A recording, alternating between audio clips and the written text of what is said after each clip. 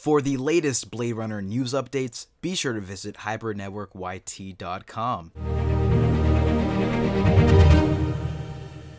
What it do, ski guys? It's Failwhale34 here with a brand new Blade Runner topic video. While the classic 1982 Blade Runner is one of the biggest sci-fi movies ever, something that isn't as well known about it is the comic book adaptation of the movie. On top of that, the comic book adaptation was actually done by none other than Marvel. So for this video, we're gonna go and talk about the Blade Runner Marvel Comics Super Special adaptation. So let's go get right into it. The Marvel Comics Super Special Blade Runner is the official comic book adaptation of Ridley Scott's 1982 film. It was published by Marvel Comics the same year as the movie and was written by Archie Goodwin, who also wrote the comic book adaptation for Alien, another film directed by Ridley Scott. The comic is about 45 pages long and was issue 22 of the Marvel Comics Super Special series. What's interesting too is up until that point, not many of Marvel's adaptations were based off of anything that wasn't their own properties. This was one of the first to do it. The comic was also reprinted later on, missing some of the bonus quote unquote special content, and with some of the pages actually printed out of order, which were then later fixed. So with the Blade Runner adaptation, it's just like what you'd think it is. It's the film, but just in the medium of a comic book.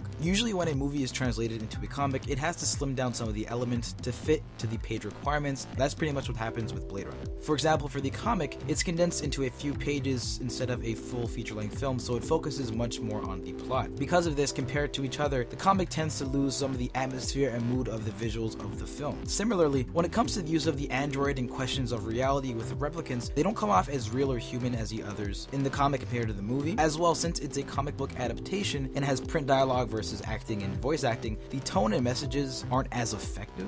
In the Marvel Comics Super Special Blade Runner, the comic, however, still emphasizes the future aspects to the story. For example, the opening panel actually starts off with flying cars and the Tyrell Corporation building, so it keeps that tone throughout it. With regards to some of the more famous and notable sequences in the movie, for the most part, we get them in the comic. One example that's actually in the comic that's a little different is when Deckard gun downs the female replicant who flees. That's the one scene where she also goes through the store window in slow motion and is all there's glass flying around. For the comic book adaptation, they actually have this scene along with some of the other more famous ones, but they are depicted slightly different because it's a comic book. They decide to use full pages showing the aftermath of the incident of that sequence and is slightly more graphic. For example, they show the replicant's face being shot. Apart from that, and it being from Marvel Comics, it's pretty much just a watered down, little more simplified version of the movie Blade Runner. Anyway, but that wraps it up for this video on Marvel Comics Super Special Blade Runner. What did you think? Let us know your thoughts in the comment section down below. As always, if you enjoyed this video, then be sure to leave a like and subscribe to the Hybrid Network if you haven't already. I'm Failwhale34.